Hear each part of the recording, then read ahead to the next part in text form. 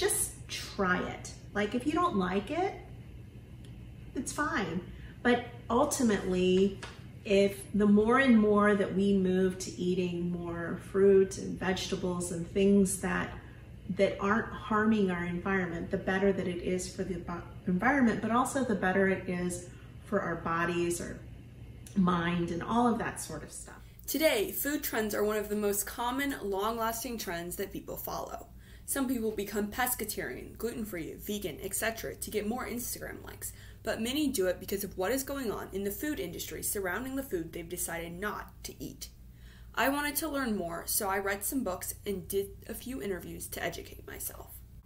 As you probably know, there are plenty of food trends out there, but how do you know which is which? Here's a list of 15 food trends and diets, varying from ones we all know and recognize, like vegetarian, gluten free, and dairy free, to ones that I'd never even heard of, such as flexitarian, mental health foods, and volumetric dieting. First on my list is vegan, which is someone who doesn't eat anything with animal products, including milk, butter, honey, cheese, any sort of meat, including seafood, and these sorts of people may even live a lifestyle without animal products in it. A vegetarian, on the other hand, is someone who doesn't eat meat itself. They would not eat beef or pork, but they might eat milk or cheese. Next up is a pescatarian, which is similar to vegetarian except for they do eat seafood or fish, but no other meat. Someone who's gluten free does not eat anything containing gluten, which means most breads they don't eat unless it doesn't contain wheat. They wouldn't eat, for example, Cheez Its or goldfish or any other sort of cracker like item that has wheat in it. Someone who is dairy free doesn't eat any dairy, so they would not eat any sort of cheese, any butter, any milk, or anything like that. Dairy free people might choose not to eat eggs, but that depends on their choices. A flexitarian is a semi vegetarian or someone who tries to be vegetarian most of the time, but it's not set in stone as a rule in their life. Mental health foods are foods that include dark and leafy greens, nuts and seeds, and foods that are rich in omega 3 fatty acids, such as salmon. These people might eat beans, kale, blueberries, avocados, etc. Someone who is following a ketogenic diet eats high fat, low carb foods with the goal of burning fats rather than carbs for energy. Someone who is on a low waste food diet is not really on a diet. They're more trying to find foods that aren't wrapped in a bunch of plastic, for example, so they aren't creating a bunch of waste with what they eat. Fusion cuisine is cuisine that combines two different cultures or cuisines together to make one specific dish.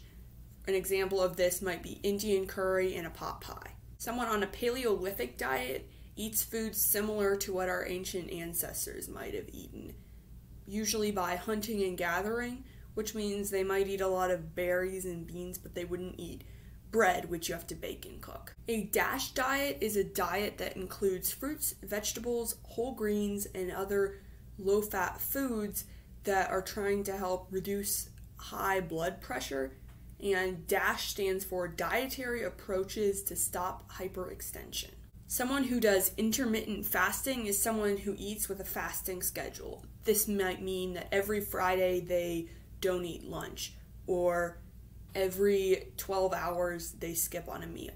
Someone on a volumetric diet eats low calorie, high nutrient foods with a goal of losing weight. Intuitive eating is eating what you want, when you want, not following the three meals a day sort of plan that most people follow.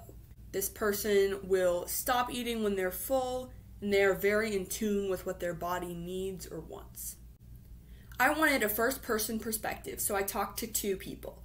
The first was Deborah Schafrath, who is gluten free and plant based. I noticed that I was having just, my stomach was feeling yucky when I was eating.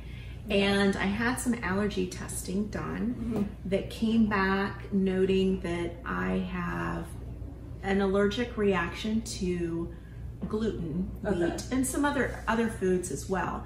And at the time, I was advised to just cut wheat, gluten, cold turkey.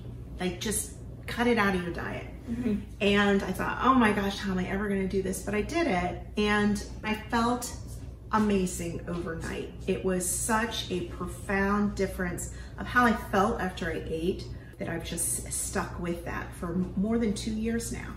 The plant-based came a little bit of a different way because as I am approaching my vintage age, vintage years, when I go to see my doctor, I'm asking a lot of questions and are there things that I should be thinking about or preparing myself for as I go into the phase of entering my 50s as opposed to being in my 40s. And she had noted that, in, my doctor had noted in her practice, she had found that most of her patients did really well, well when they started to slowly transition towards plant-based, a plant-based diet. And so because I love cooking, I love experimenting with different foods, I love researching all types of things like that.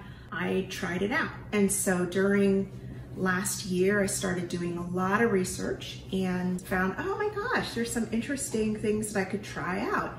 And I found that the that it was e it was an easier shift than one would think. Before changing her diet, Deborah Schafrath did a lot of research on food alternatives for dairy, meat, and of course, gluten. In the past few years, the number of vegetarian, dairy free, and gluten free alternatives have grown. However, the alternatives are still being popularized and are usually more expensive than the normal options. This doesn't mean vegetarian, dairy free, or gluten free eaters are out of options. It just means they have to be more creative with their ideas, which is why I decided to talk to Deborah Schafrath, a walking food alternative encyclopedia, to learn more. During our conversation, I put together a list of foods Deborah doesn't eat and the alternatives she uses instead, in addition to her health and food advice on some of these specific items. First up is meat, which you can substitute with tofu or tempeh. They're high in protein and they're low in fat if, if you're looking at your fat intake. For chicken, you can substitute it with jackfruit. It shreds kind of like chicken. It does not taste like chicken, but the texture is a little bit like chicken if you're looking to make like, I don't know, burritos or things like that. For protein in general, chickpeas, lentils, and beans are great substitutes. Protein does not have to come from meats. Hmm. Meats tend to be a really good source for iron and, and protein However, you can also get a similar impact on your body from plants. If you're looking for a way to stabilize hormones and things like that, which women, when we enter into our 50s and 60s, are really trying to do, you don't want to be artificially putting hormones into your body. Not that it, there's a substantial amount, but the point is, is I was surprised by that research that I came across from various sources on just the negative impact of animal protein and most importantly, dairy on the body and body function. In substitution for dairy milk, almond milk, hemp milk, coconut milk, oat milk, and more are great milks. There are a variety of substitutes for dairy cheese, which include yeast flakes. And that adds a nice cheesy taste to stuff. They're really high in vitamin B6, B12, all of your Bs. White beans. It's amazing what you can do with white beans, like cannoli beans or navy beans. Those ground up serve really nice, like in a lasagna instead of ricotta. And raw cashews for a creamy sauce. If I'm looking to make something kind of creamy, I often use raw cashews that I grind up or I'll use tahini. One of Deborah's favorite substitutes for dairy ice cream is oat ice cream. It doesn't like taste all yucky in your mouth. There isn't a residual milky taste in your mouth when you eat oat-based ice cream. Coconut milk ice cream is also good. A great substitute for dairy yogurt is coconut yogurt. You wouldn't want to eat a whole lot of them because they're highly caloric, but they're really great. In baking and cooking, flax seeds are a good substitute for eggs. A substitute for cornstarch is arrowroot powder. I don't put a lot of corn in my body if I can help it because it's just everywhere. It's prolific. Substitutes for bread include rice cakes and buckwheat flour bread. In addition to a variety of other options. I was talking to someone the other day and she was saying, I just love meatballs. And I was like, well, I do too. When I make meatballs that have like mushrooms and lots of veggies and walnuts and things like that, I just can't have in my mind that it's gonna taste like a veal, beef, pork meatball. It's going to taste different, but really delicious. In conclusion, if you want to change your diet, there are so many options and alternatives to try. Your food might taste different, but it will still be healthy and delicious if you make it without meat or dairy or gluten. The next person I talked to was Jamie Schafrath, a vegetarian and pescatarian of over 40 years. Jamie's story is a heart wrenching one. Imagine you're five years old. You have a favorite pet, an animal best friend who you will trust, cherish, and love forever. One day, Fluffy, your bunny, Snickers, your puppy, or El Toro, your bull, ends up on your dinner plate. This is what happened to Jamie Schafrath when her playmate and pet, a bull named El Toro from the Schafrath family farm, was slaughtered for meat. This very traumatic event would shape Jamie's future dietary decisions. Jamie became a fully vegetarian and many times didn't even trust what her mom was serving her. I did eat chicken until I was about 13. The family farm had chicken barns, and so in each chicken barn, there was about 300,000 chickens. When I saw the process of how chickens were made, I stopped eating chicken when I was about 25 years old, at that point, I had not eaten any meat whatsoever. I was working for the Hyatt. During the banquet, I had asked for a vegetarian meal. Essentially, like a bowl of fruit came to my table. On that night, I had salmon for the first time cooked right. And so I started eating fish. Jamie eats fish meat and no other kinds of meat. And that's just been my lifestyle all my life, really. It was very unusual for Jamie to order a meat free meal. She remembers ending up with a bowl of green beans, cheese, or bread at school. There was no vegetarian option for meals. It was not cool. There was no coolness in and around being a vegetarian. There was no trends in and around, you know, eating it because, you know, a plant based diet is better for you. That was not the case for me at all. It was really that I could not stomach eating my friends. Jamie often made her own meal or had a different meal. This was and is her way of life. So I asked her what her favorite meals were. If I were to be given my last meal, popcorn's like one of my absolute favorite snacks. But in terms of a meal, it would be like it would be like a baguette with mozzarella cheese, basil, a glass of wine, and some tomato. I love making salmon on the grill is my favorite, making sure that it's smoked and it's just perfectly done. Otherwise, I, I like pastas with basil and fresh vegetables and stuff like that. It's really that simple. I think of how many times I've eaten pasta with veggies or salmon or a mozzarella, basil, and tomato baguette. It really is that simple. Jamie Schafrath talked about how animal treatment changed her mind about meat and made her decide to go pescatarian. After I did a little research, I realized that it is utterly inhumane what we do to our beef, pork, and poultry in today's industrial food factories. I call it an industrial food factory because most of the food we eat from the supermarket is mass produced in big industrial settings, not at the happy farm ideal. First, I came across the issue of animals being shoved into ridiculously small living spaces and pens. I was fairly surprised that we were willing to do this until I thought about it some more. Mass production usually means getting things done as fast, cheap, and easy as possible. It's not a huge surprise that food manufacturers would give up the happy farm ideal for a beef, pork, or poultry mass production factory. Because we are mass producing these animals, we are using up a lot of food resources at a fairly high rate. Some estimates say that as much as 95% of the energy farm animals consume is being put into animal parts we don't eat.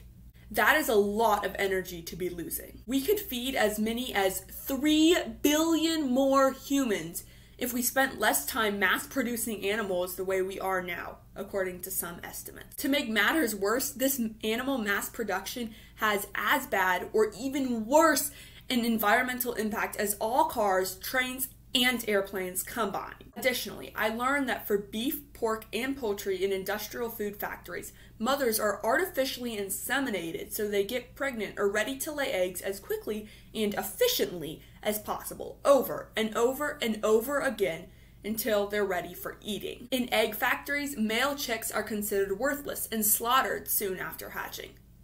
With pigs and cows, the young are taken away from their mother after a few short weeks or even days.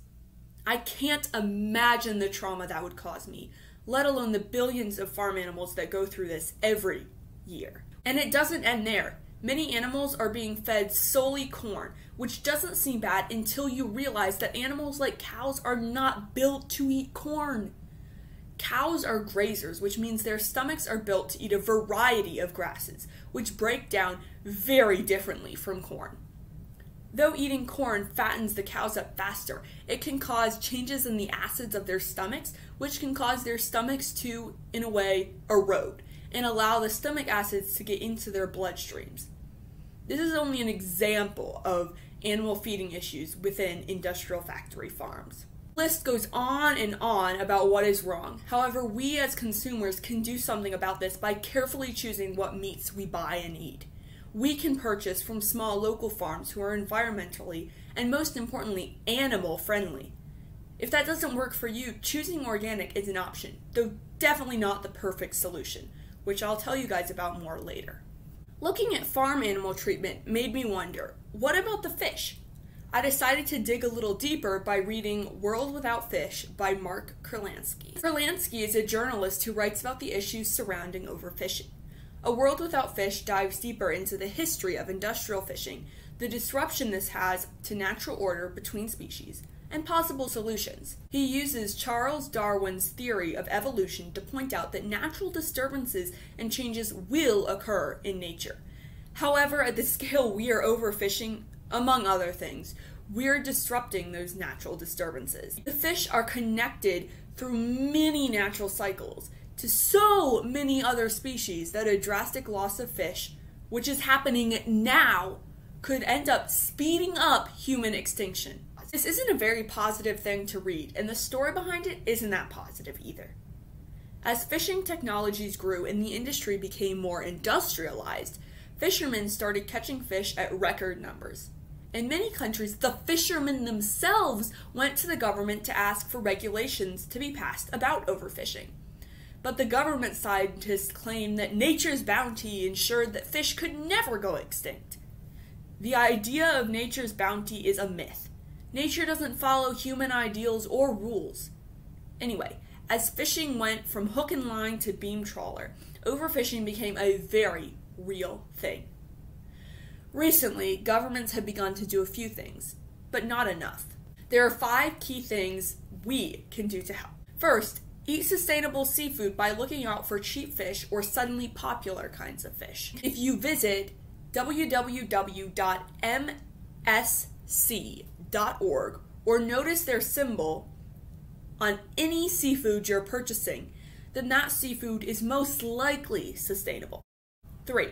Farmed fish are not a solution to overfishing because the tight living conditions of the fish change their natural instincts for migration, feeding, and reproduction they'll never be able to be put back in the wild. Also, they're treated similar to land animals, so be careful about them. Fourth, never eat shark or bluefin tuna because they're both in danger of extinction. Sharks produce very few offspring, which means they're more likely to go extinct if their numbers dwindle, which is happening. Bluefin tuna are migratory, which means it is hard to put regulations on fishing them. Don't help them go extinct by eating them. Fifth, but not lastly, always ask how the seafood got to you. This is a great way to learn where your fish came from, how it was fished, and whether it was farmed. Furthermore, if the seller doesn't know the answer, your question is going to encourage them to ask questions and educate themselves. Animal treatment and overfishing isn't the only reason people are changing their diet. There is lots of information, old and new, that points to the increasing unhealthiness of food, particularly in the United States. According to Michael Pollan in The Omnivore's Dilemma, corn is taking over our food. Almost literally. you can find a corn product in between a third, which is the lowest estimate, and 75%, the highest estimate, of the products at the supermarket. If you include meat, your estimate will be even higher because almost all beef, pork, and poultry that we consume eats, you guessed it, corn. Corn fed animals, and cows in particular, don't have an equal balance of omega 3 and omega 6, as well as a variety of other important vitamins and minerals. This means that the healthiness of a corn fed animal is less than that of a grass fed animal, which means one that is truly and properly grass fed, not one that is offered a few grains at the end of its life. This is only one example of how we are losing the health benefits of many foods. Perhaps by choosing our food the way we might research and choose a landscaper for our backyards, a designer if we were renovating, or the right mattress for our bed, we can learn a lot more about the health benefits and the story behind the food we eat. In the past 30 years, interest in organic foods has boomed. However, they might not be quite as great as we think they are. When they first became a thing, organic foods generally came from small local farms that never used chemical herbicides or pesticides. However, most organic foods now are mass produced in factory like settings. Organic foods, whether animals or plants, live in slightly better, but generally the same living conditions as non organic, industrial produced foods. Organic seems to have become a trademark instead of a farming aspiration. Organic has lost its meaning. During my research, I came to several important conclusions about what I had learned. First, I learned about food trends. For many, food trends are like a new culture of food. Not eating meat or dairy or gluten, etc., for all of your meals is no different than eating rice or tortillas or beer or cheese at every meal. I also learned that the food factory industry, poultry, beef, pork, fish, and more, today is not something to be proud of. However, for those of us who have the privilege, we can vote with our forks, as Michael Pollan calls it, by making conscious choices about all the food we buy and eat we can make a difference in small ways for our own health, against animal treatment, and for the future of our species, planet, and the environment. I encourage you to figure out whether your food is healthy or produced in an environmentally and animal friendly way by reading the label. Here you can look at the various stamps to discern whether it was grown sustainably or not, and so much more. Additionally, look at the ingredients when buying your food. Always ask yourself doesn't contain ingredients I need a chemistry degree to pronounce or understand? Is this food going to rot eventually? You cannot pronounce some ingredients, then the food has something highly processed in it that you probably don't want to be eating. If the food isn't going to rot or get moldy eventually, it's good to find an alternative to that food item. Lastly, I learned that you don't have to become vegetarian, vegan, or dairy free to make a difference. You can still learn more about how to make a difference by researching topics that you are interested in and spreading awareness about what you learned.